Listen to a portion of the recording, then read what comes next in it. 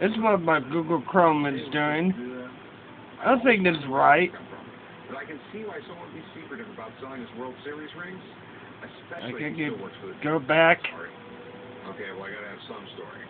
I bought them off the original owner, but they're all legit. They're, they're all legit. And it fucking flashes. Oh, okay. They're all I can do this. Correct. Championship rings So Facebook, see? Should be doing that. Atlanta Braves are sellable because they dominated the entire.